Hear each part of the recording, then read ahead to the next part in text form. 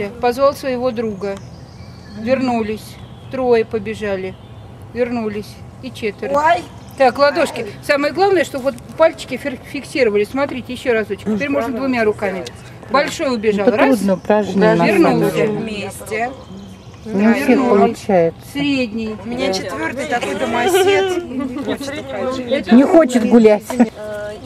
Квадрат черный квадрат. И вот этот черный квадрат проводить, вести, допустим, до э, того, насколько глаз ведет. Это развивает очень хорошо боковое зрение, да.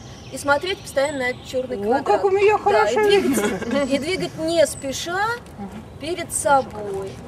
Это очень хорошо развивается. Ребятишкам тоже нравится. Наташа отправить. То есть переплести, то есть все переплелись. И по- натянули, вся она натянута, ее нельзя ослаблять. И потом берете кому-нибудь на ухо, шепчете или какому-то ребенку.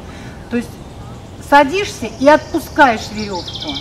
И тогда каждый почувствует, что изменилось что-то. О чем говорят, что в природе ничто просто так не бывает. То есть все взаимосвязано. Или, например, одного ребенка поставить на стульчик, он тоже поднимется, и все почувствуют натяжение, напряжение. Это тоже говорит о том, что в природе, если какое-то одно звено страдает, то страдают все остальные. Тихой печалью ручей янтарной сосны.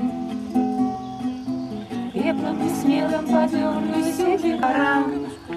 Милая моя, солнышко лесное, Где, в каких краях, в краях Встретимся с тобою.